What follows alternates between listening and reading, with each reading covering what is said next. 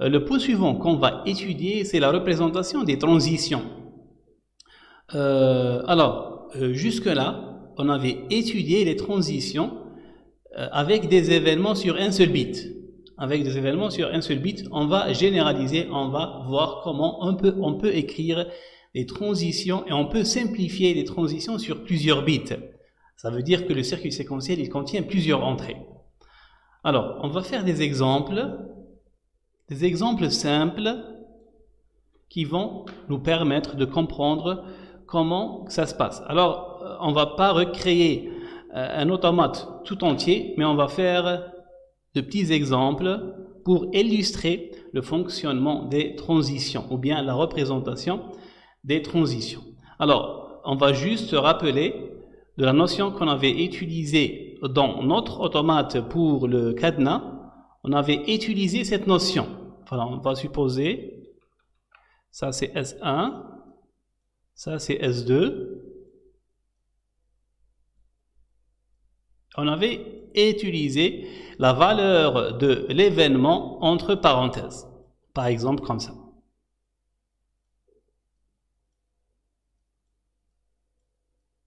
Voilà. Ici, on avait supposé que notre automate possédait une seule entrée. On l'avait appelée E, l'entrée du, euh, du, circuit du cadenas, c'était E, c'était une entrée sur un bit et c'était E. Si E euh, avait la valeur de 0, la transition se passe de S1 vers S2, et si E est égal à 1, le S1 va boucler. C'est juste un exemple, je ne me rappelle pas exactement du, euh, de l'automate, mais on va supposer un exemple simple qui va illustrer euh, ces propos. Voilà, on avait utilisé les parenthèses. On avait aussi utilisé une autre écriture qui est équivalente et qui est très simple aussi, très explicite. On peut écrire ça. E est égal à, ça veut dire l'entrée est égale à 0. Et ici, on va écrire E est égal à 1. Voilà, c'est explicite. Si l'entrée est égale à 0, ça veut dire l'automate va passer de S1 vers S2. Si E est égal à 1, ça veut dire que S1 va boucler sur lui-même. Sur lui-même. Ce sont des exemples très simples. On avait vu ces deux notions. On avait vu ces deux notions. Mais en réalité, la notion la plus utilisée, c'est la notion qu'on va étudier. C'est une notion qui se base sur l'écriture algébrique ou bien l'écriture sous format d'expression algébrique booléenne. Qu'est-ce que ça veut dire? Ici, au lieu d'écrire 0 ou bien E est égal à 0, on peut écrire E bar. On va écrire E bar. Ça veut dire si le E il est à 0, on va passer, on va, euh, on va prendre cette transition, on va passer de S1 vers S2. Et la même chose ici. Si E est égal à 1, on va juste écrire E sans barre. Comme ça. Voilà, c'est exactement la même chose. Et ça, c'est l'écriture la plus utilisée. Ça, c'est une écriture qui se base sur l'algèbre de Boole. On écrit les expressions de l'algèbre de Boole. Ici, bien sûr, on va, pas, on voit pas trop l'intérêt de cette écriture, mais elle est très importante lorsqu'on a plusieurs variables. Pour une seule variable, c'est assez simple. Ça, c'est une seule variable. Si c'est 0, on met barre. Si c'est 1, on ne, met on ne met pas barre. Mais supposons qu'on a plusieurs variables. On va faire un autre exemple dans lequel on va supposer l'existence de plusieurs variables. On va commencer avec ça. On va commencer avec cette table. Cette table, c'est une table partielle, c'est pas la table entière de la table de transition. C'est une, partie, c'est juste une partie. On va juste étudier, par exemple, S1. On va juste étudier S1 pour simplifier les choses. C'est juste un exemple imaginaire, c'est pas réel. Voilà. Et on va faire la même chose. On va faire la même chose. Ça veut dire on a S1 ici. On a S1 ici. S1, il peut partir vers S1. Ça veut dire il peut boucler. Ici, il va boucler. Je vais, je vais la dessiner, après on va l'écrire. Ici, il peut boucler. Voilà, ici, il peut boucler. Ici, il peut partir vers S2. Et ici, il peut partir vers S0. On va les écrire. On va les écrire. Voilà. Par exemple, ça, c'est S0.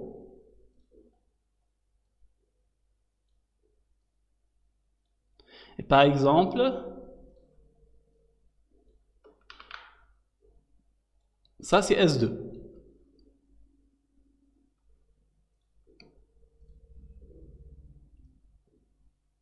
Ça, c'est S2. On va commencer avec la première transition, celle-là.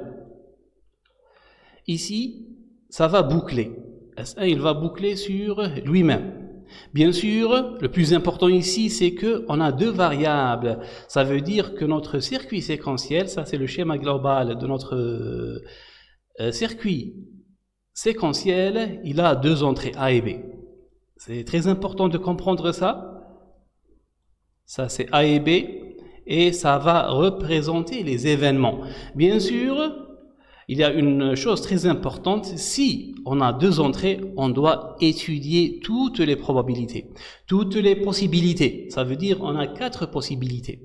On va faire euh, ensuite un exemple sur trois variables. Vous allez voir, il y a huit possibilités. C'est ça le principe. On doit étudier toutes les possibilités. On a la première possibilité, c'est ça. C'est lorsque A est égal à 0, B est égal à 0. On va faire cette transition. On peut, écrire ça. On peut faire ça. A est égal à 0, B est égal à 0. C'est une écriture totalement normale et correcte et faisable. Mais nous, on va l'écrire sous format algébrique. Pour l'écrire sous format algébrique, on doit l'écrire sous format d'expression. Qu'est-ce que ça veut dire?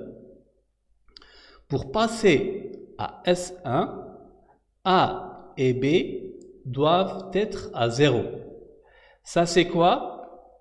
Ça c'est le ce qu'on appelle le euh, le et. Ça veut dire A bar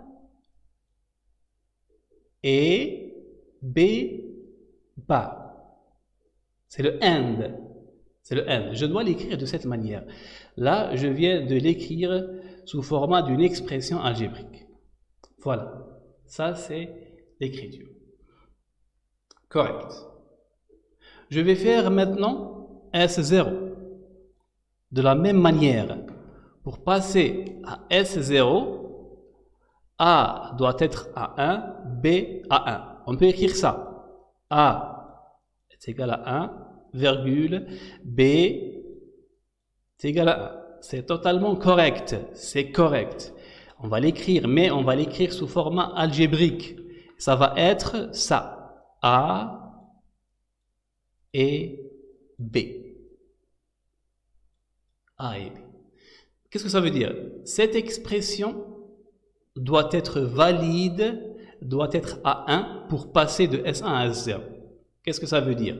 Pour que cette expression soit égale à 1, le A et le B, les deux doivent être, égaux à 1. C'est l'expression qui doit être valide, qui doit être égale à 1 pour passer. Et ça, ça va, qu'est-ce que ça va faire? Ça va réduire, ça va réduire lorsqu'il y a plusieurs possibilités. Et c'est le cas de S2. Le S2, il y a deux possibilités. Normalement, si on n'utilise pas ça, on doit créer deux flèches. On n'utilise pas la, notion de euh, la notion algébrique, on doit créer deux, flèches. La première pour celle-là et la deuxième pour celle-là. Mais vous allez voir, l'expression algébrique, elle va permettre de réduire. On va créer une seule flèche. Cette seule flèche, elle va représenter, elle va représenter les deux cas. Ça va représenter les deux cas. Comment ça? Vous allez bien voir, pour passer de S1 à S2, on a l'expression. Ça, ça doit être vrai. Ça veut dire A bar. Je vais l'écrire autrement. Ça veut dire ça, c'est A bar et B ou A B bar. Normalement, c'est ça l'expression. Normalement, c'est ça l'expression. Mais je peux la réduire. Ça, c'est égal à A XOR B.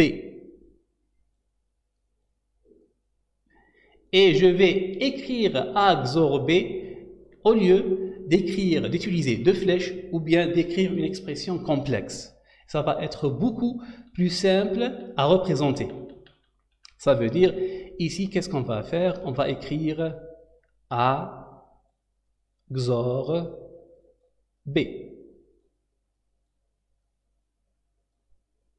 Et pour savoir les cas ou bien les événements euh, qui vont permettre de passer de S1 à S2, il suffit juste d'appliquer. Ça veut dire si A est égal à 1, B est égal à 0, ça passe, la transition se fasse de 1 à 0, de 1 à 2, pardon, et inversement, si A est égal à 1, B est égal à 0, il y a aussi transition. Les autres possibilités, il n'y a pas de transition.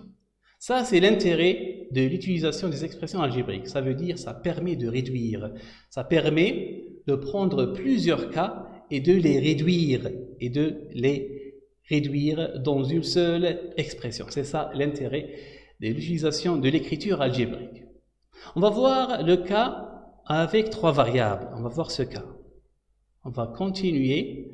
On va voir le cas avec... On va voir le cas avec trois variables. Ici, je vais juste dessiner le circuit séquentiel rapidement. Ça, c'est son schéma global. Ce circuit séquentiel, il contient trois, il contient trois entrées. A, B, C. A, B, et ces trois entrées, qu'est-ce qu'ils vont faire? Ils vont maintenant représenter nos trois variables pour les événements. Pour les événements. Alors, qu'est-ce qu'on va faire? On va dessiner S1. Euh, juste un rappel, ça c'est une partie. C'est pas la, c'est pas le euh, l'automate tout entier. C'est juste une partie. On va juste faire un exemple sur une partie. On va pas dessiner tout euh, l'automate. Mais ici aussi, il y a trois variables. Je dois étudier tous les cas on doit euh, explicitement dessiner tous les cas dans l'automate. Ici, on a huit flèches. Huit flèches, c'est beaucoup et ça devient complexe. Et maintenant, ça, c'est l'intérêt de l'utilisation des expressions algébriques. L'expression algébrique, au lieu de dessiner huit flèches, vous allez voir, ça va réduire. Ça va réduire et ça va simplifier le dessin de l'automate. C'est ça l'intérêt de l'utilisation des expressions algébriques. Voilà, ici, ça c'est S1. On va pas utiliser, on va pas faire beaucoup de cas, on va juste faire un seul cas. On va faire S1 vers S2.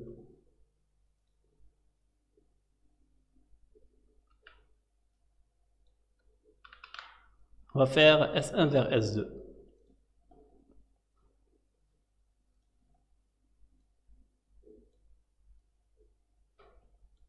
Voilà. Le cas de S1 vers S2, c'est ça.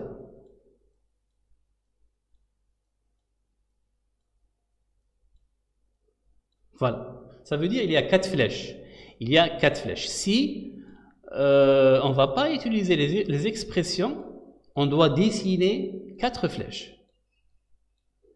Chaque flèche avec son cas. Par exemple, le premier c'est A est égal à 0, virgule, B est égal à est égal à 0, virgule, C est égal à 0.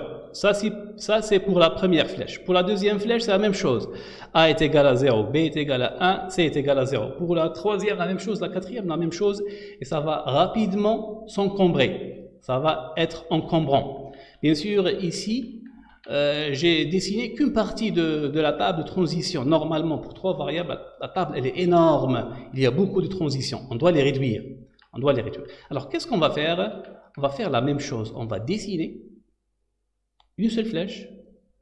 On va trouver l'expression algébrique de cette flèche qui va représenter les quatre euh, transitions. Comment on va la trouver? On va utiliser la réduction avec la table de Carnot. On va utiliser la table de Carnot pour réduire cette expression. Bien sûr, il faut la voir sous format de table de vérité. Ça c'est 1, ça c'est 1, ça c'est 1, ça c'est 1. Le reste, c'est des zéros. C'est ça la notion. La notion, ça veut dire si euh, il y a 1 ou il y a passage de S1 à S2, ça veut dire il y a 1 ici. Ça veut dire il y a c'est considéré comme 1. Pour les autres cas, les autres cas, on ne sait pas qu'est-ce qu'il y a ici. Je ne les, ai pas écrits exprès, Ça veut dire qu'il y a S0 ici, S1, c'est des exemples. S0, S1, peu importe. Mais le plus important, c'est de se concentrer sur le S2. Le S2, on a quatre cas. Qu'est-ce qu'on va faire? On va écrire l'expression. On peut l'écrire directement, mais ça va être long. On peut l'écrire comme ça, par exemple. Euh, A bar fois B bar fois C bar, comme ça.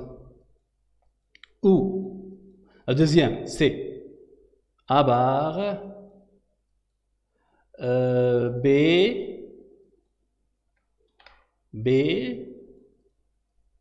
C bar. Mais c'est long, on peut l'écrire, on peut écrire les quatre, ça, va continuer, on va écrire quatre min-termes, c'est lent. Qu'est-ce qu'on va faire? On va directement réduire en utilisant la table de Carnot. Qu'est-ce qu'on va faire? On va euh, mettre les 1 ici, ça veut dire qu'on a ici le S2, c'est 0, 0, 0. Normalement, c'est cette cellule. Voilà. Ici, c'est 1. La deuxième, c'est 0, 1, 0. 0, 1, 0. C'est cette cellule. Euh, la troisième, c'est 0, 1, 1. C'est ça. Normalement, c'est ça. Voilà, et la dernière, c'est 1, 1, 1. 1, 1, 1, c'est ici. Voilà. Ça veut dire que c'est celle-là. Directement, on peut voir qu'on peut dessiner. Euh, deux ensembles ici, on peut extraire les formes réduites, ça, ça devient A bar, C bar, ou euh, ici c'est B,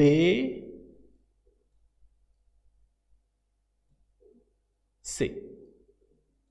Voilà, ça c'est l'expression. Je, dois l'écrire ici. A bar, C bar, pardon, ou, c'est pas un E, c'est un ou, ou B, C ou PC. Voilà, c'est assez simple euh, et ça permet de regrouper les quatre flèches dans une seule flèche qui est très réduite, très explicite. Elle est explicite et on peut directement comprendre quels sont les événements. Ici, il y a quatre événements déclencheurs pour passer de S1 à S2. Il y a quatre événements déclencheurs. C'est ça, ou bien ça, ou bien ça, ou bien ça. Voilà, ça c'est la notion de la représentation euh, de ce qu'on appelle, euh, en utilisant les expressions algébriques booléennes. C'est la représentation en utilisant les expressions algébriques booléennes. Alors, qu'est-ce qu'il y a à rajouter? Parfois, pour simplifier, on ne va pas dessiner de transition. Si par exemple, on a, quand est-ce qu'on ne dessine pas les, euh, euh, les, transitions Lorsqu'ils font une boucle? Par exemple, s'il il y a une transition qui va boucler. On a une transition ici, par exemple celle-là. Alors je vais revenir à l'exemple précédent. Alors on va effacer ça. Là, je vais juste de donner quelques abréviations qui sont utilisées dans le domaine Parfois, Parfois, on ne dessine pas les transitions. On ne dessine pas les transitions.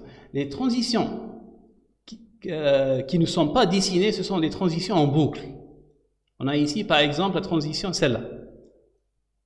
A par ou B par.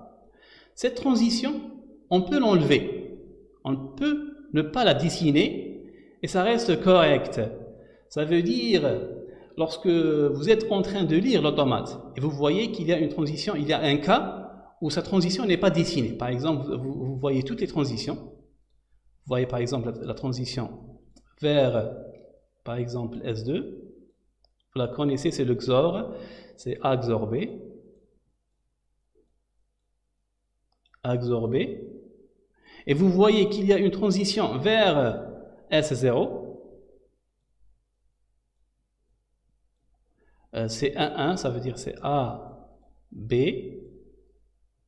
Mais vous remarquez qu'il y a un cas où euh, le 0,0 n'est pas dessiné sur le euh, sur l'automate.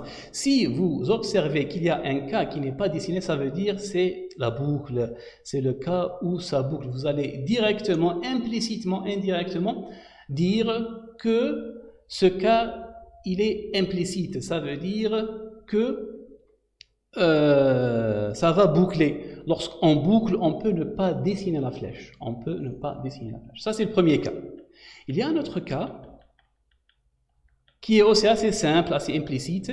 Lorsque, par exemple, vous allez voir qu'il y a une flèche, par exemple S1, vers S2, et il n'y a aucune écriture ici. Il n'y a aucune expression. Là, qu'est-ce que ça veut dire? Ça veut dire que tous les cas mènent vers euh, S2 quel que soit le cas. Ça veut dire ici, par exemple, les 4 cas. Les 4 cas mènent vers S2. Ça veut dire ici, c'est... Ça veut dire c'est écrit de cette manière. Ici, c'est 2 et ici, c'est 2. Voilà. Ici, c'est 2. Ici, c'est 2. Ça veut dire, quel que soit le cas, on va passer à S2. On va l'écrire de cette manière. On va l'écrire de cette manière. Ça veut dire, on n'écrit aucune expression. Ça veut dire, quel que soit euh, si, votre automate tombe dans S1, quel que soit l'événement, il va passer à S2. Il va passer à S2 et vous n'êtes pas obligé d'écrire ici aucune expression. Vous n'êtes obligé d'écrire aucune expression. Voilà, globalement, ça, c'est les différentes représentations de ce qu'on appelle euh, de ce qu'on appelle les, euh, les représentations des transitions. On va voir après une deuxième étape, une deuxième manière de construire les circuits séquentiels. C'est toujours la méthode de Moore ou bien l'automate de Moore, mais cette fois-ci, on va utiliser un encodage euh, qui s'appelle l'encodage one hot. C'est l'encodage one hot. Ça, c'est une variante. Ça, c'est une variante pour l'automate de Moore. Euh, cette variante, c'est ce qu'on appelle la variante one hot. Alors, qu'est-ce que ça veut dire? Euh, Cette variante concerne principalement l'encodage des états. L'encodage des états. Juste pour rappel, comment on avait encodé les états euh, sur la méthode normale on avait pris S0, c'était 0,0, S1, c'était 0,1, S2, c'était 10, S3, c'était 11. Ça veut dire c'est un encodage binaire normal, mais il y a une autre méthode, une autre variante, une autre variante euh, pour les, euh, pour l'automate de Moore, ça s'appelle la variante one hot. Et qu'est-ce qu'elle concerne? Elle concerne l'encodage des états. Alors je vais lire, c'est un encodage des états dans lequel chaque bit représente un état. Qu'est-ce que ça veut dire? Euh, C'est plus un encodage binaire, mais on va prendre un seul bit qui va représenter un seul état. Qu'est-ce que ça veut dire? Pour notre automate, on a quatre états, ça veut dire on aurait besoin de quatre bits. Le premier bit, le bit 0, il va euh, représenter S0, le bit 1 va représenter S1 et ainsi de suite. C'est ça le principe. Alors je vais dire, lorsque l'automate est dans un état donné, son bit est mis à 1 et le reste à 0. C'est très simple, c'est très simple. Ça, c'est un exemple. Ça veut dire l'état S0 est représenté par 0, 0, 0, 1. Voilà. Le, le premier bit, c'est S1, il est à 1. Les autres, ils sont mis à 0. Ça veut dire, on aurait besoin de 4 bits, le nombre des états. On a 4 états, on aurait besoin de 4 bits. Ça veut dire on a plus de bits que la représentation normale. On va utiliser plus que bits, mais cette fois-ci, l'encodage est très simple. Il est très simple. Ça veut dire, euh, c'est un seul bit qui est à 1, les autres, ils sont à 0. C'est pour ça qu'on l'appelle en anglais one hot. C'est un seul à 1, les autres, ils sont à 0. Voilà, ça c'est ce qu'on appelle l'encodage one hot. Et qu'est-ce qu'on va faire ici? On va refaire la même conception. C'est le même automate, c'est le même circuit séquentiel, c'est le circuit séquentiel du cadenas. Mais cette fois-ci, on va utiliser la variante one hot. Euh, alors, juste pour rappel, c'est toujours la méthode à cette étape. On va utiliser la méthode à cette étape. La première étape, euh, euh, elle, elle, ne concerne pas l'encodage. Ça veut dire qu'elle ne va pas changer. C'est exactement la même. Ça, c'est ce qu'on appelle le schéma global ne va pas changer. Euh, l'automate aussi, il ne va pas changer. L'automate n'a aucune implication sur l'encodage. La table de transition aussi, ça ne va pas changer. C'est exactement la même que l'automate de Moore normal. Mais qu'est-ce qui va changer? C'est la quatrième étape. C'est la quatrième étape dans notre méthode. À cette étape, c'est la quatrième étape dans laquelle on va changer l'encodage. On va plus utiliser l'ancien encodage, mais on va utiliser l'encodage one hot. Ici, vous, pouvez voir, c'est assez simple. Euh, cette quatrième étape, ça s'appelle euh, la table d'encodage des états et de sortie. Voilà, c'est la partie, c'est l'étape où il y a deux tables. Deux tables la première table, c'est la table des états. Voilà, S0, elle est représentée 1, 0, 0, 0. Ça, c'est le premier bit, deuxième bit, troisième bit, quatrième bit. Voilà, c'est l'inverse de l'exemple. C'est l'inverse de ça, mais c'est la même chose. C'est la même chose. Ici, on a considéré le premier bit, c'est le plus à droite. Ici, on les a écrits. Ça, c'est le premier bit, le deuxième bit, le troisième bit, le quatrième bit. Voilà, le S0, c'est 1, 0, 0, 0. Le S1, c'est 0, 1, 0, 0. Le S2, c'est 0, 0, 1, 0. Le troisième, c'est 0, 0, 0, 1. Voilà. Juste pour ne pas faire la confusion avec l'exemple, ça c'est l'inverse. C'est l'inverse. Euh, la, table de sortie ne change pas. La table de sortie ne change pas. Qu'est-ce que ça veut dire? O aura toujours 0 dans S0. Euh, 0 pour S1, 0 pour S2 et euh, 1 pour S3. Ça va toujours produire 1 que pour S3. Là, on vient de terminer l'étape 4. On va passer à l'étape 5. L'étape 5, c'est quoi? C'est la table de transition encodée. Et là, il y a une implication. Là, il y a une implication. Euh, si vous vous rappelez comment on avait créé la table de transition, qu'est-ce qu'on avait pris? On prenait la table de transition normale, euh, pardon, pour créer la table de transition encodée, qu'est-ce qu'il fallait faire? Il fallait prendre la table de transition normale avec ces deux entrées qui sont l'état actuel plus l'entrée et l'état suivant. Ici, c'est la même chose, mais cette fois-ci, on doit prendre le code. On doit prendre le code. Qu'est-ce que ça veut dire? Cette partie, ces quatre premières colonnes, ça va représenter l'encodage de l'état. Et E, ça va représenter l'événement, l'événement déclencheur.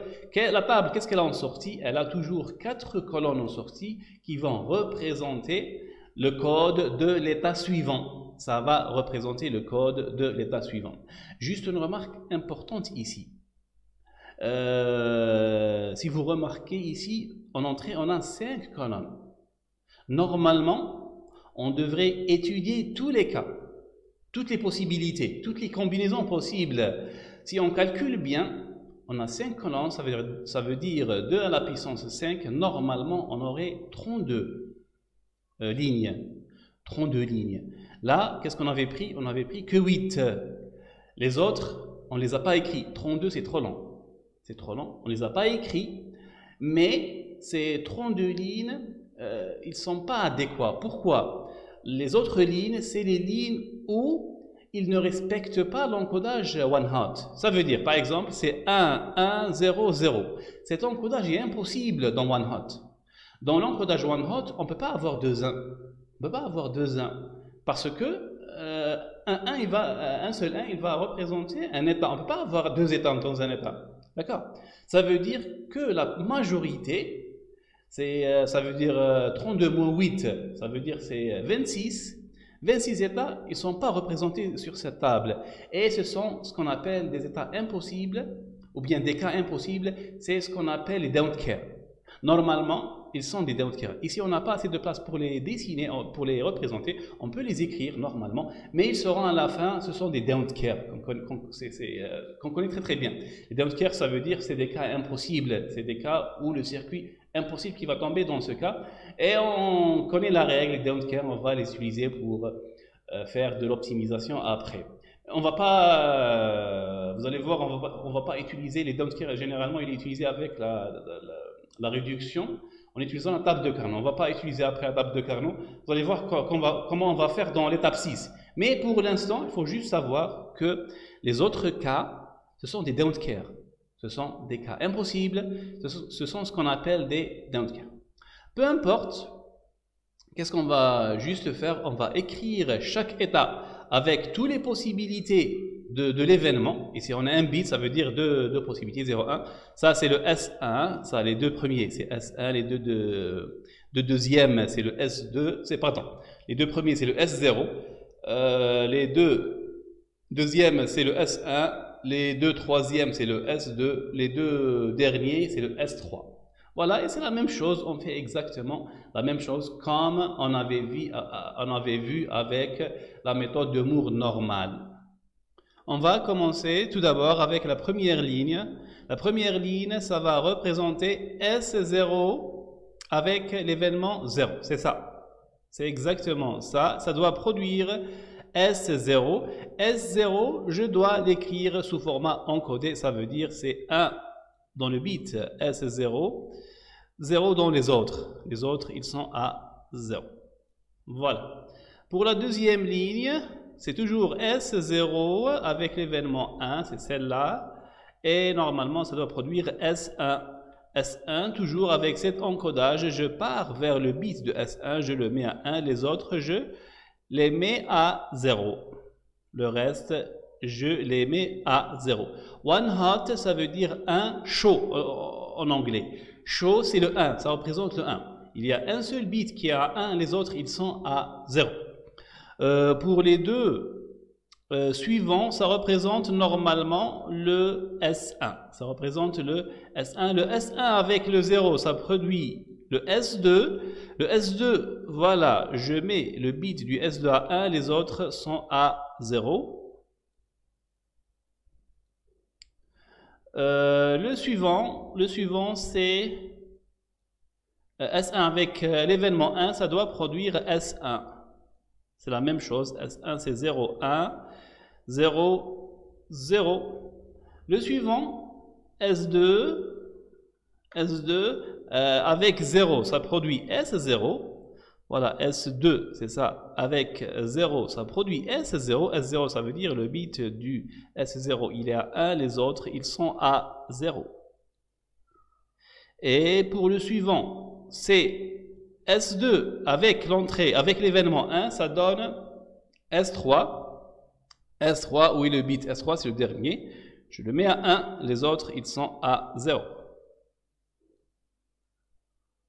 La même chose pour les deux derniers, c'est le S3. Là, on est dans S3.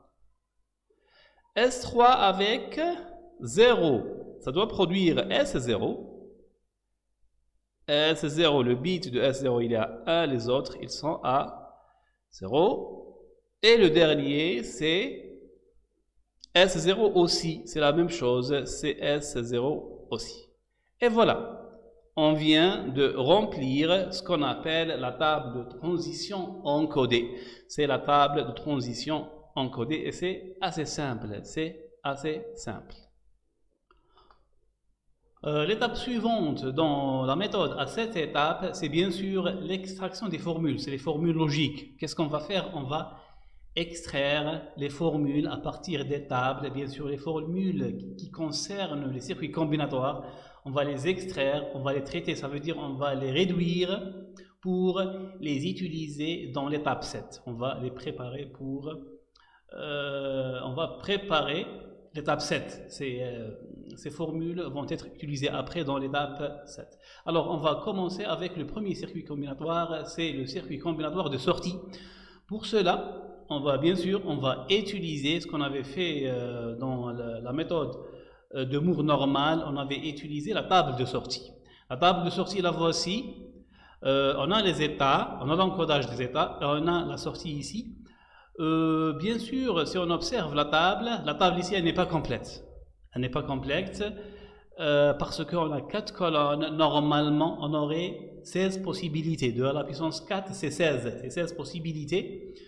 Euh, ici, il y a des possibilités qu'on avait dit déjà qu'ils étaient impossibles. C'était des, des possibilités impossibles. Et là, on parle bien sûr des cas où il y a par exemple 2 1, 3 1, 4 1, ça c'est impossible. On sait que dans la représentation one hot, ça c'est impossible. On devrait toujours avoir un seul 1. C'est pour ça sur la table, on a dessiné que les 4 cas possibles réels et euh, qui suivent l'encodage one hot. Euh, directement à partir de la table, on n'a pas besoin euh, en réalité, c'est pas difficile d'extraire la formule ici. Si on voit, on voit que le 1 ici, il n'est, euh, il y a un seul 1, premièrement, et il n'est à 1 que lorsque S3 est à 1. C'est tout à fait normal. On sait très très bien que notre automate, il fait sortir la valeur 1 que lors euh, de l'état S3. De cette manière, qu'est-ce qu'on pourrait dire? On pourrait dire que la formule de O, S0, S1, S2, S3, c'est S3. C'est directement S3. On ne va pas utiliser la forme canonique disjonctive. Si on utilise la forme canonique disjonctive, ce sera euh, S3, S2 bar, S1 bar, S0 bar, mais on ne va pas l'utiliser. Pourquoi? Parce qu'on sait exactement que euh, ces cas-là, si euh, ça est 1, ça c'est A, ou ça, si S1 est à 1, ou S2 est à 1, ou S0 est à 1, ça c'est impossible. Le seul cas où ça va produire 1, c'est lorsque S3 est égal à 1. Les autres, c'est impossible. Si S3 est égal à 1, implicitement, on sait que les autres, ils sont à 0. Ça, c'est en suivant les règles de l'encodage one-hot. Ça veut dire cette information est suffisante. S3, la formule c'est O de S0, S1, S2, S3 est égal à S3. Lorsque S3 est égal à 1, la sortie c'est 1. Sinon, si S3 est égal à 0, ce sera 0. Et euh, ici, on va pas, euh, S3 c'est suffisant, on va pas voir les autres. Pourquoi? Parce que si S3 est à 1, les autres ils sont implicitement, ils sont à 0. Ils sont à 0 en suivant bien sûr l'encodage one hot. Voilà, on vient de terminer la formule pour le, premier circuit combinatoire qui est le circuit combinatoire de sortie. Et ici, bien sûr, on insiste sur le fait que on ne peut plus réduire. On a un seul terme, c'est plus réduisable. On ne peut plus réduire plus que ça. On ne peut plus réduire plus que ça. Voilà, on vient de terminer les formules du premier circuit combinatoire. On va passer au deuxième circuit combinatoire. Le deuxième circuit combinatoire, c'est le circuit combinatoire de l'état suivant. C'est le circuit combinatoire de l'état suivant. Ici, bien sûr, la table qu'on va utiliser, c'est la table de transition encodée. On va utiliser la table de transition encodée. Euh, pour les sorties, on a quatre colonnes et on va essayer décrire euh, la formule pour chaque colonne. Bien sûr, on doit aussi faire la réduction. On doit en même temps aussi faire la réduction. Alors, on a les quatre fonctions, ou bien les quatre colonnes de la sortie de la table de transition encodée. On va essayer d'extraire les formules ou bien les fonctions euh, pour le circuit combinatoire de l'état suivant. Ça va permettre de construire le circuit combinatoire de l'état suivant. Bien sûr, on doit faire la réduction euh, et toutes les opérations nécessaires pour euh, créer après, dans l'étape 7, le logigramme. Alors, on va commencer. On a la première colonne, c'est S'0. Ça va représenter la fonction S'0. Euh, les entrées, bien sûr, on en a 5. 5 colonnes, ça veut dire 5 variables, S0, S1, S2, S3, SE. Bien sûr, comme euh, toute méthode d'étude d'un circuit combinatoire, on doit commencer par extraire ce qu'on appelle la forme canonique disjonctive.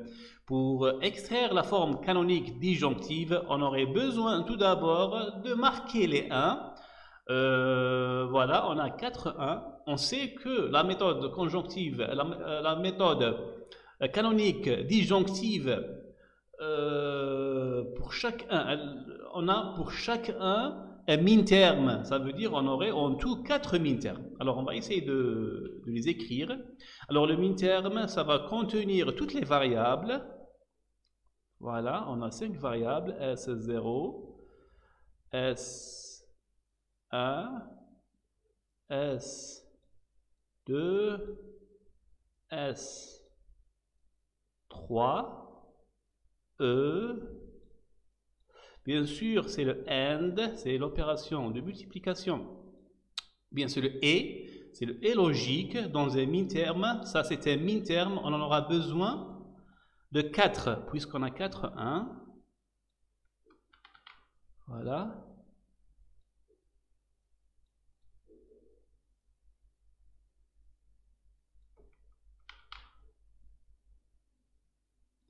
Et l'opération entre euh, ces min-termes, c'est le ou, c'est le plus. Là, on a un plus ici, un plus ici,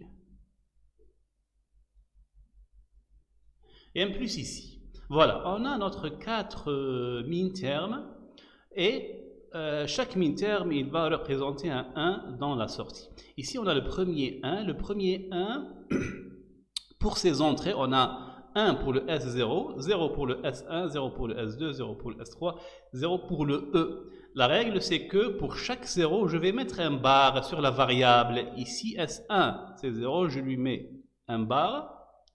Euh, en dessus. S2, c'est la même chose. Elle est à 0, je lui mets, je lui mets un bar, une barre, pardon. Euh, S3, c'est la même chose, c'est 0, je lui mets une barre. Et le E, je lui mets aussi une barre. Voilà. Euh, et je répète la même chose pour les autres. Voilà le, le, le 1 suivant. On a 0 sur S0. On a le 0 sur S1. On a 1, S2, il n'y a pas de barre. Euh, S3 par E bar, parce que le E il est à 0. Pour le troisième 1, on a 0, 0, 0, 1, 0. Voilà, c'est 0, 0, 0, 1, 0. Pour le dernier, c'est 0, 0, 0, 1, 1. 0, 0, 0, 1. Voilà, et on vient de terminer l'extraction de la forme canonique disjonctive. Bien sûr, par observation, cette formule, elle est très longue. Et on sait que la formule, elle représente les portes logiques. Ça va représenter le circuit après. Et, et on sait qu'on doit faire maintenant ce qu'on appelle la réduction. On doit réduire cette formule, on doit minimiser le nombre de portes. Euh, pour ce faire, on a plusieurs options. La plus commune, c'est l'utilisation des tables de Carnot. On doit utiliser les tables de Carnot pour réduire cette expression. Le problème ici, avec la table de Carnot, c'est qu'on a cinq variables. Jusque-là, on avait utilisé à plusieurs fois la table de Carnot, mais le nombre de variables ne dépassait pas les quatre, euh, ne dépassait pas le nombre de quatre. On n'avait jamais fait la table de Carnot pour cinq variables ou six variables. Et il faut savoir que euh, généralement, la table de Carnot n'est pas optimale pour un nombre de variables supérieur à 4. Elle devient complexe et difficile à faire, difficile à effectuer. À effectuer. C'est pour cette raison qu'on va l'éviter. On va l'éviter. Il existe une autre méthode. C'est une méthode appelée la méthode de Queen-McCloskey. C'est une méthode assez célèbre aussi pour la réduction des euh, expressions algébriques booléennes. Malheureusement, on n'a pas fait en cours, on ne sait pas comment ça fonctionne. Et euh, cette méthode, elle est plus facile, elle est plus simple à utiliser pour un nombre de variables supérieur à 4. Elle est plus optimale, elle est plus simple à utiliser que la table de Carnot. Malheureusement, on l'a pas faite. On ne peut pas la faire maintenant parce que euh, c'est pas aussi simple que ça. Il faut euh, faut l'étudier en cours, il faut lui faire, il faut lui euh, spécialiser partie du temps pour la faire, pour l'exposer. c'est pour cette raison qu'on va utiliser ce qu'on appelle la réduction algébrique. Qu'est-ce que ça veut dire? On va se baser sur les règles de l'algèbre de Boole pour réduire cette expression manuellement. On va essayer de réduire manuellement, ça veut dire on va essayer de modifier cette expression au fur et à mesure jusqu'à ce qu'on arrive à la réduire seulement en utilisant les règles de l'algèbre de Boole.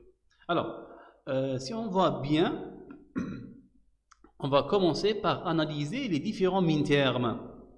Si par exemple, on va essayer tout d'abord de comparer ce min-terme avec ce min-terme, il y a un peu de ressemblance.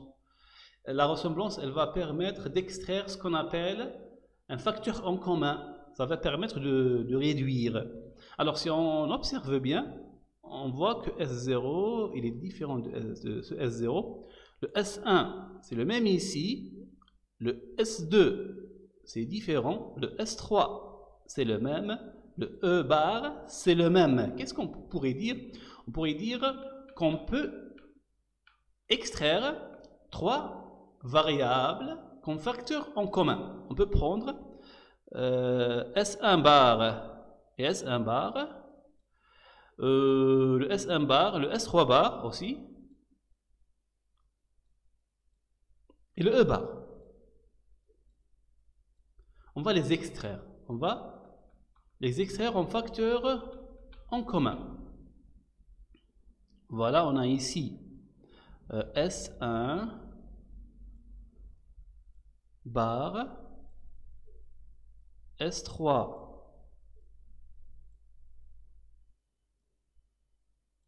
bar et E bar. On va les prendre en facteur en commun. Euh, qu'est-ce qui reste? Il reste le S0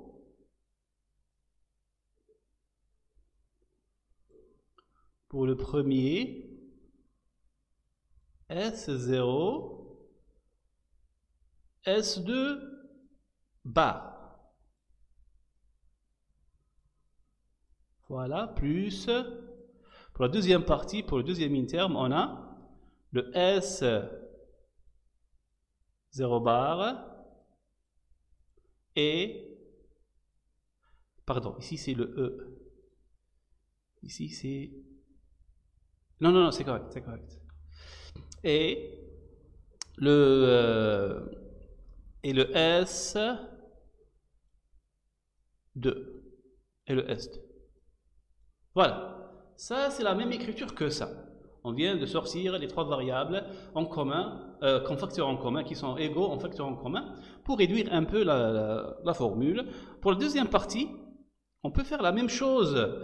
On peut voir que ici c'est S0, c'est le même ici, S0 bar, c'est le même ici que celui-là, S0 bar, S1 bar, euh, S2 bar, S3, S3 c'est le même. La différence est ici. Ici c'est E bar, ici c'est E. On peut faire aussi la même chose. On peut sortir un facteur en commun. Voilà, plus on va sortir les quatre premières variables en facteur en commun. Voilà, S0 bar, S1 bar, S2 bar et S3 fois E bar plus E. Voilà. On vient de réduire euh, un petit peu la forme initiale. Alors, on peut faire des réductions ici. On peut faire des réductions. On peut remarquer ici que ça, on peut la réduire.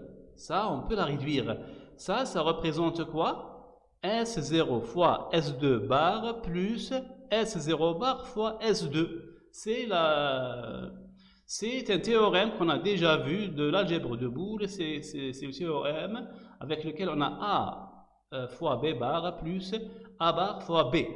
C'est le théorème du XOR, de la formule du, XOR. Ça va nous permettre de écrire la formule du XOR.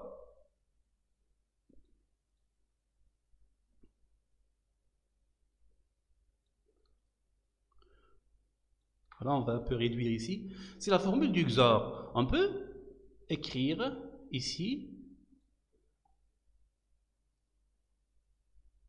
S1 bar S3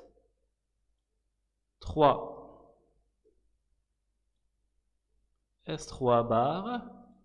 Et ici c'est E bar. Et là on va la transformer sous, son format le plus simple, ça, sera, ça deviendra S0 XOR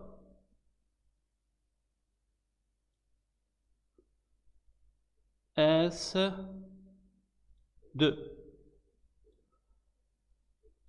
fois S2 plus ça, ça c'est bien connu dans l'algèbre de Boole, c'est lorsqu'on a x bar ou x, c'est égal à 1. C'est égal à vrai. C'est égal à 1. C'est toujours le cas. Et on a le 1 ici, le 1 fois, quelle que soit l'expression ici, c'est égal à l'expression. On a x fois 1, c'est toujours égal à x. Ça, c'est une règle aussi de l'algèbre de Boole. Ça veut dire que on va juste prendre ça, je ne vais pas l'écrire, on va juste prendre ça. Ça ne va pas changer. Ça va pas changer. Voilà. Voilà, on vient de terminer la première expression, ou bien l'étude de la première fonction. On vient de terminer l'étude de la première fonction, et c'est ça, ça c'est son expression, ou bien sa formule réduite. Ça, elle est réduite.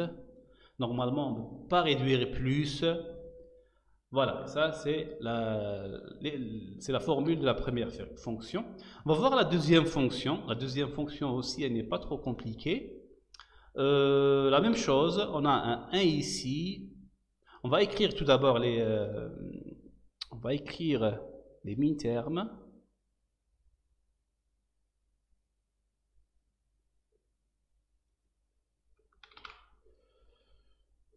Voilà, j'ai pas assez d'espace. On va les mettre ici.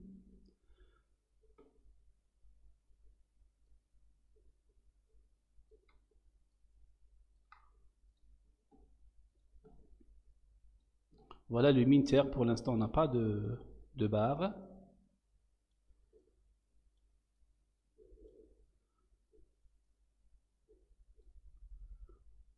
C'est le premier min terme.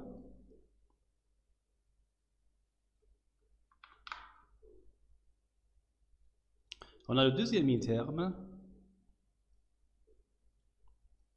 Il y a un ou entre les min-termes. On va commencer par l'étude du premier 1. Le premier 1, si on observe, on a 1, 0, 0, 0, 1. Qu'est-ce que ça fait? Ça fait euh, non bar, bar, bar, bar et non bar. Euh, le deuxième 1 ici, qu'est-ce qu'on a? On a 0, 1, 0, 0, 1. 0, 1, 0, 0, 1. Voilà, c'est ça. 0, 1, 0, 0, 1. Voilà. Euh, c'est égal à quoi? Qu'est-ce qu'on pourrait faire ici? Est-ce qu'on pourrait réduire Normalement, c'est oui. Comment on pourrait faire la réduction? On, on peut prendre les variables qui se ressemblent. On peut, par exemple, observer que les trois dernières variables, c'est les mêmes pour les deux min-termes. Voilà, c'est S2 bar, S3 bar, E. C'est la même chose pour les deux parties. On peut faire ça, on peut extraire facteur en commun, qu'est-ce que ça devient? Ça devient, pour le premier mi-terme, c'est S01, S0, S1 bar, S1 bar, ou euh, pour le deuxième, c'est S0 bar,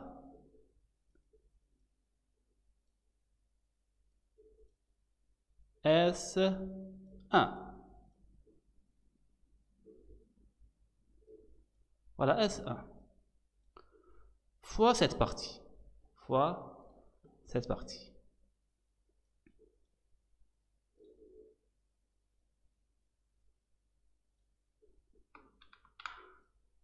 Voilà.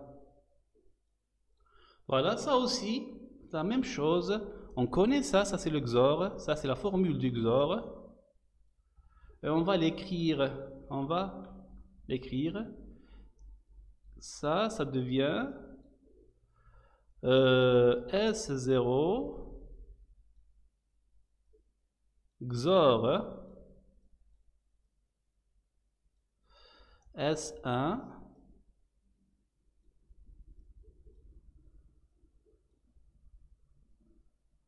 fois, voilà, fois cette partie. Et voilà. On vient de calculer la deuxième fonction. On vient de calculer la deuxième fonction. Euh, la troisième fonction, elle est encore plus simple puisqu'elle ne contient qu'un seul min-terme. Voilà, on va l'écrire directement. Ça veut dire, ça devient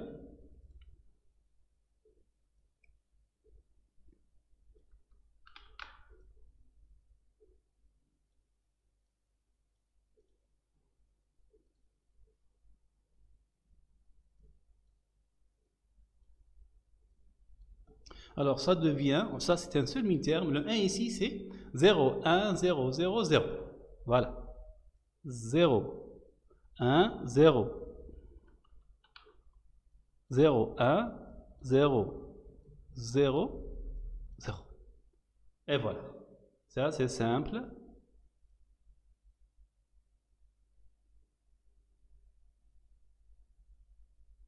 Et voilà. Et voilà. Pour la dernière, c'est aussi assez simple. Voilà, c'est la même chose. On va l'écrire un peu décalé.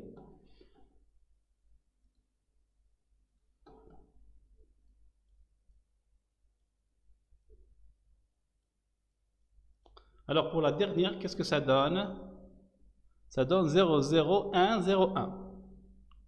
0, 0, 1, 0, 1. Voilà, celle-là. Et voilà. On vient d'extraire les formes réduites. On vient de terminer la sixième étape. On vient de trouver les quatre formes réduites des fonctions de la sortie du circuit combinatoire euh, de euh, comment on appelle ça? De l'état suivant pardon, de l'état suivant. C'est le, circuit combinatoire qui calcule l'état suivant. C'est le quatrième inconnu de notre méthode à cette étape. Voilà, la dernière étape qui nous reste, c'est l'étape du logigramme. Et on va passer maintenant à la dernière étape. La dernière étape, c'est la concrétisation. On va enfin dessiner la machine de Moore. Bien sûr, ça reste toujours une machine de Moore, mais avec l'encodage one hot. On peut voir sur la figure qu'il y a quelques éléments euh, qui ont été mis à l'avance juste pour faciliter le travail. Alors, euh, on a ici par exemple, ça c'est la boucle, ça c'est les bus ou bien les fils, ça c'est le bus ou bien les fils qui vont faire la boucle de retour de notre automate. On a ici par exemple, ça c'est la sortie O, on a une seule sortie, ça c'est l'entrée E, euh, ça par exemple c'est l'horloge. On va, alors on va commencer par ce point. Euh, on va commencer par les inconnus qu'on avait calculés. Les inconnus, ils sont représentés en haut. On avait commencé par, premièrement, le P. On avait calculé le P. On avait trouvé que le P est égal à 4. Bien sûr, dans le, euh, logiquement, implicitement, dans l'encodage one hot, P est égal à toujours le nombre des états. C'est euh, implicite. On a 4 états, P est égal à 4. Il n'y a pas de euh, plus que l'encodage, c'est euh, chaque bit représente un état. Euh, le deuxième inconnu qu'on avait calculé, c'est cette formule, c'est la formule de sortie. Cette formule, normalement, elle va nous permettre de créer le circuit combinatoire de sortie. Et troisièmement, qu'on avait juste, euh, qu'on venait juste de calculer, c'est les formules pour calculer l'état suivant. Ça va nous permettre de créer le circuit combinatoire qui va, calculer l'état suivant. Alors, on va commencer. On va commencer par P. P, c'est 4. Ça veut dire qu'on connaît le nombre de cellules mémoire dans notre registre. Le registre d'état, euh, on connaît, avec P, on va connaître, on on est capable de connaître le nombre de cellules mémoire. On en a normalement 4. On va directement les dessiner. Voilà, ça c'est une des flip-flops. On va les dessiner dans notre automate.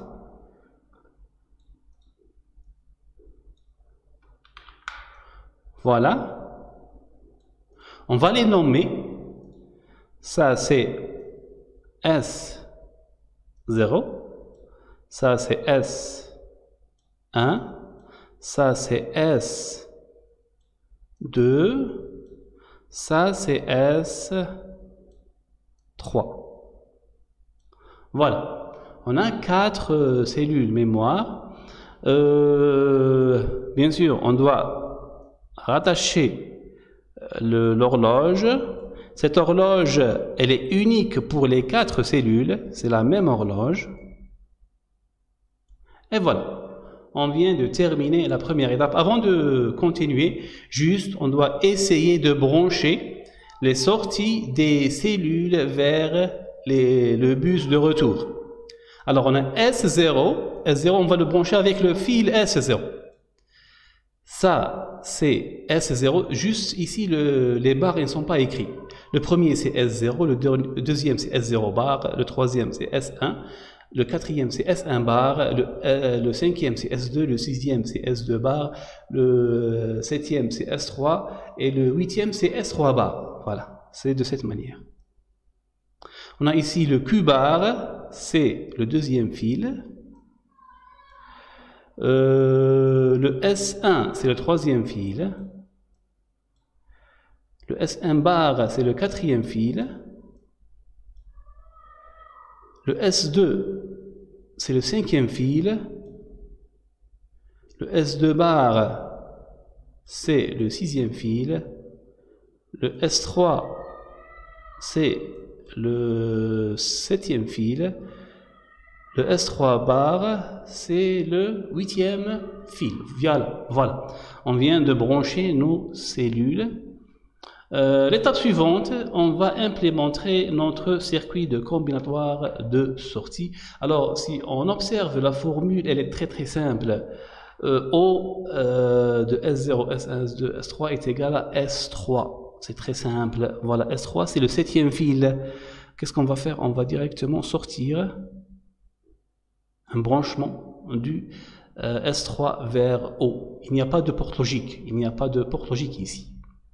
Voilà, on vient de terminer la deuxième étape. La troisième étape, c'est de créer le circuit combinatoire de l'état suivant. On va le dessiner dans cet espace. On a réservé cet espace pour le dessiner. Les formules, bien sûr, on en a quatre. Ici, S0', S0', ça va représenter l'entrée de S0. C'est l'entrée de S0. On va la mettre ici.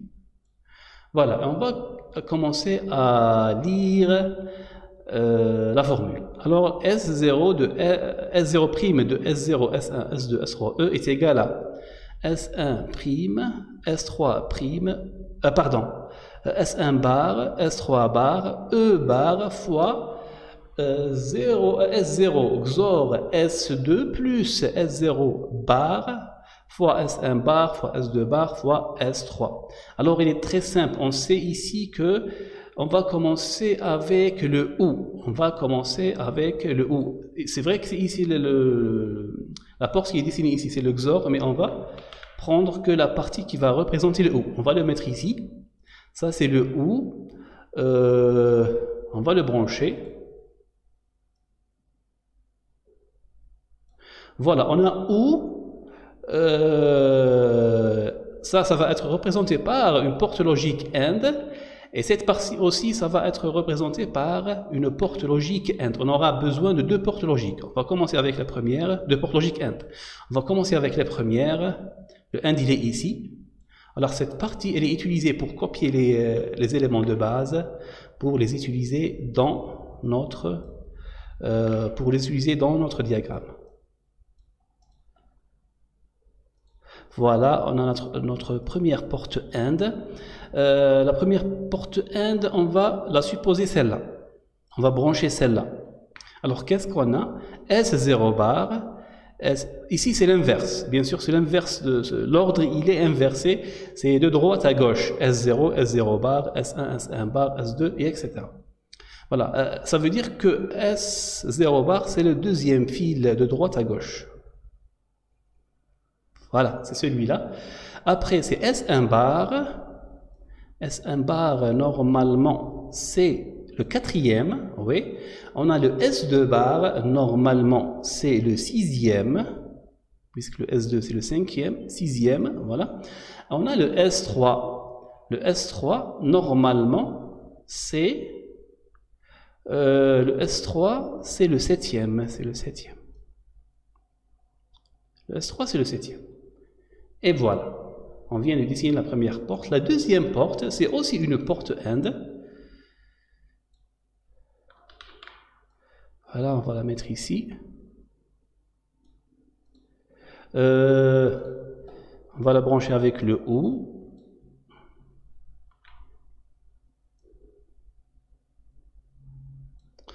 Qu'est-ce qu'on a ici? On a S1 bar. S1 bar, c'est le quatrième fil, normalement de droite à gauche.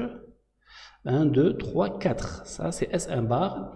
On a S3 bar. S3 bar, c'est le dernier fil, normalement, c'est le huitième.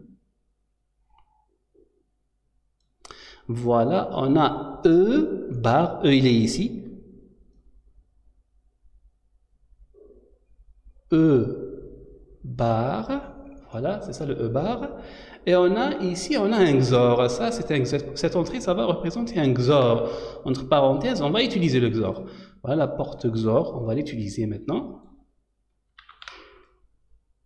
On va la mettre ici.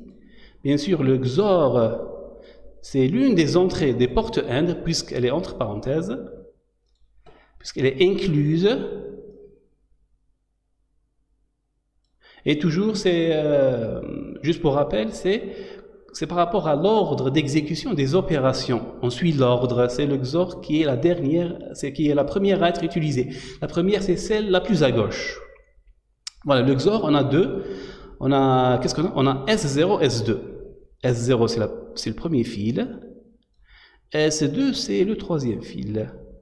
C'est, pardon, c'est le cinquième fil. Hein? Le, 3, le troisième fil, c'est S1.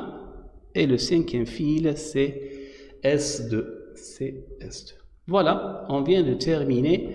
La première fonction, c'est quoi? C'est S0'. C'est l'état suivant de S0. S0'.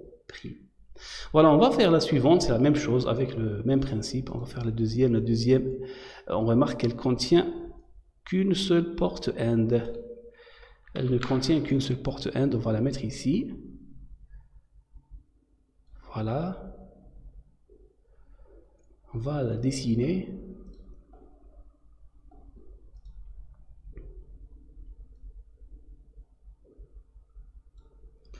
La porte AND, qu'est-ce qu'elle contient? Elle commence avec un XOR. Ensuite, il y a des euh, variables normales. On va commencer avec les variables. Ici, S2 bar. S2 bar, c'est le cinquième fil. Troisième, quatrième, cinquième. Ça, c'est S2 bar. Euh, on a le S3 bar, c'est le dernier fil.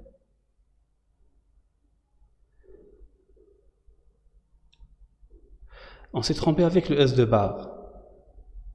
Le S de bar, c'est le sixième. Pardon, S de bar. S2 bar, c'est le sixième. Il ne faut pas se tromper, S2 bar, c'est le sixième.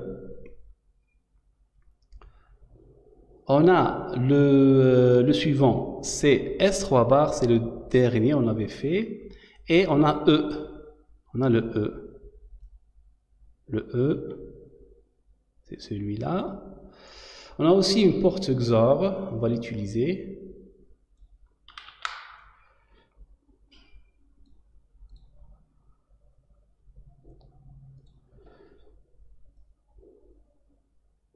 Voilà, le XOR c'est entre S0 et S1. S0 c'est le premier fil, S1 c'est le troisième. Voilà. On continue la même avec la même manière. On va faire le S, on va le mettre ici. Bien sûr ici, on doit juste préciser que c'est S 1 prime. Voilà.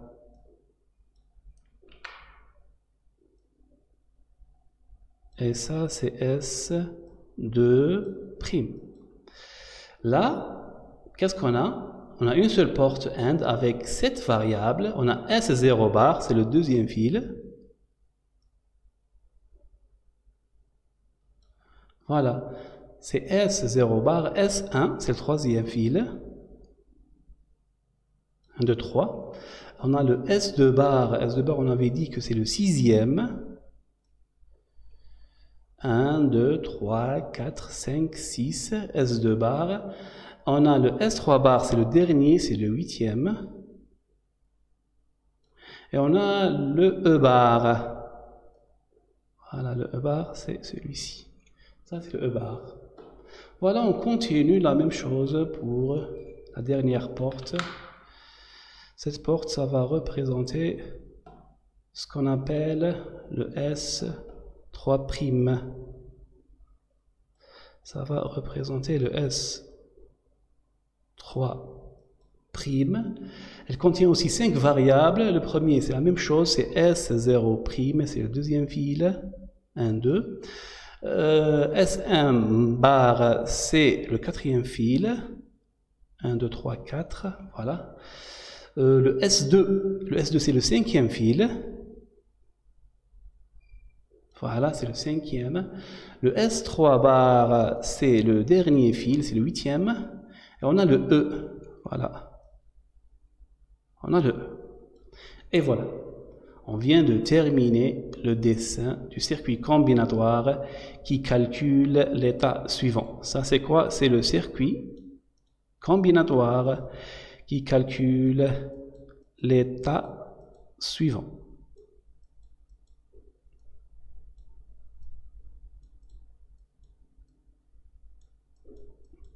Calcule l'état suivant. Voilà, on a terminé enfin notre automate. C'est un automate de Moore, mais c'est une variante. Il utilise ce qu'on appelle l'encodage one hot. L'encodage one hot, on avait précisé, c'est que si par exemple on voulait représenter S0, ça sera 1, 0, 0, 0. Ça c'est S0. Ça c'est S4. C'est le bit. C'est le bit qui a 1, qui, S3 pardon. C'est le bit qui a 1 qui va représenter l'état. Il y a une autre variante de, euh, de l'encodage qui est euh, semblable à one hot, c'est son inverse ou bien son complément, c'est le one cold. Le one cold, ou bien en anglais c'est euh, cold, c'est froid. One cold, c'est l'inverse. Ça veut dire c'est le zéro qui va représenter l'état. Ça veut dire, ça c'est la même chose. 0 dans S0, 1 dans S1, 1 dans S2, 1 dans S3. Là où il y a 1, on dit que l'automate n'est pas dans cet état. L'automate, le, bit qui contient 0, ici c'est S0, c'est le bit S0 qui contient 0, on dit que l'automate se trouve sur le bit qui contient la valeur 0. Les autres, ils sont à 1. On appelle ça one cold. C'est exactement le complément ou bien l'inverse du one hot. C'est l'inverse. C'est l'inverse. C'est le même principe, mais c'est l'inverse. C'est le 0 qui va représenter l'état. Et les autres bits, ils doivent être à 1. Et le, 0 doit et et le bit doit contenir 0.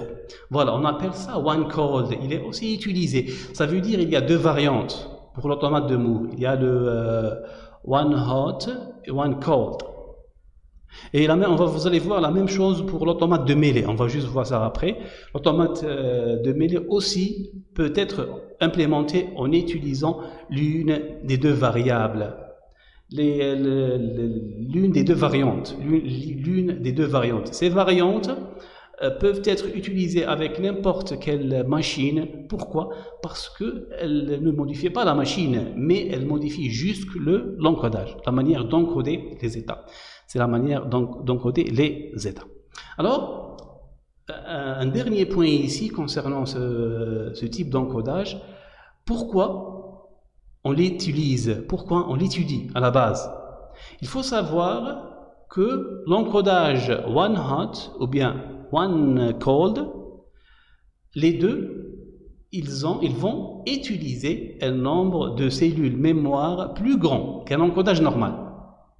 C'est logique, c'est logique. Ici, on a utilisé, on a 4 états, on a utilisé 4 cellules mémoire, alors que la machine de Moore normale, on avait utilisé que 2. Ici, on avait utilisé 4. Ça veut dire, eh bien, on va gaspiller, on va utiliser plus de portes de cellules mémoire.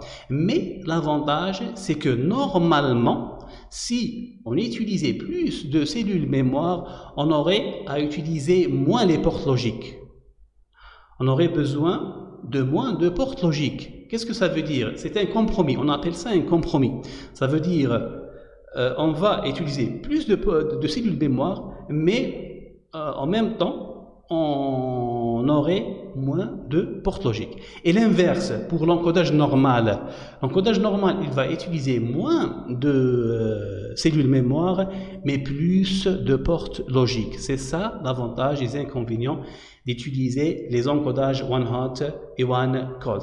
Euh, pour cet exemple, cet exemple, c'est un cas particulier. Cet exemple, il est assez simple. On voit que le nombre de portes a augmenté par rapport euh, à l'encodage normal. Ici, on a plus de portes. 1, 2, 3, 4, 5, 6, 7, 8. Il y a 8 portes. Normalement, on avait utilisé 4 dans l'encodage normal. Cet, ce, cet exemple ne reflète pas la réalité. Pourquoi? Parce que c'est un exemple simpliste. Pour les exemples réels, plus complexes, je veux dire, plus complexes, là, vous allez voir que si vous utilisez euh, l'encodage one hot ou bien euh, one cold, vous allez utiliser plus de portes, euh, plus de cellules mémoire, mais moins de portes. Vous allez économiser les portes. Voilà. Et là, vous allez dessiner ou bien construire votre machine en rapport, en fonction de nombre de portes et de nombre de cellules mémoire dont vous disposez, dont vous disposez. Voilà, on vient de terminer la machine de Moore.